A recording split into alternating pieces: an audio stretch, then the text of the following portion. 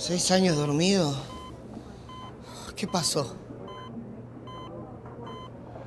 Y pasaron cosas. El virrey volvió la boca.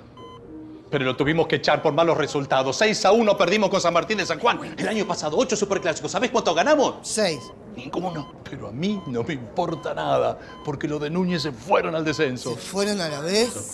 Ellos solos no, ¿eh? el Rojo también estuvo en el descenso y después volvió a ascender y tuvo que ver como la academia. El equipo de tu abuelo salía campeón después de 13 años. Contale lo de la camiseta No, no, rosa. no, eso no. Es San Lorenzo, campeón de la Libertadores. Nene, nene, volvé, volvé, que todavía no terminé, nene. Huracán ganó la Copa, pero la Argentina, que es como la Copa del Rey, pero la de acá. El torneo está muy cambiado, son como 30 equipos, 400 partidos. Eso lo votaron en la época que estaba Don Julio, viste que ahora ya no está más. Sí, dale, y el Papa es argentino. Sí, es argentino, pero ¿sabés lo que importa, nene? Se acaba de retirar Román.